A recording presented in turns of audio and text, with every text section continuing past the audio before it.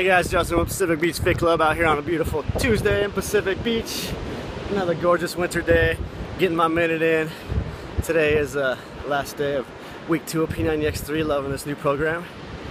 And you guys know the drill. If you got a minute, you could do it. you could do a workout. You could do something. I know you can. I know you got a minute. So remember, it gets easier every day you do it. It gets harder every day you don't. So you might as well do it. Start having fun. I promise you'll start feeling good. So stay with it, guys. Remember, the world is your gym. And if you got a minute, you can do a workout. Stay healthy, my friends. Happy Tuesday.